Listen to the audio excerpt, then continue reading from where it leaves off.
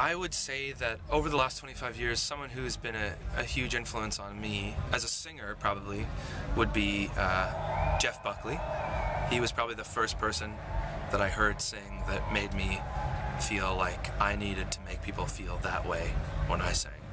I'd like to think that people like James Blake or, you know, Justin from Bon Iver like are, are going to be the influential people because they're kind of doing their own thing. And they're doing what they want to do, and they're sort of having these uh, interesting styles of music sort of come into the forefront, and I, and I like that, you know.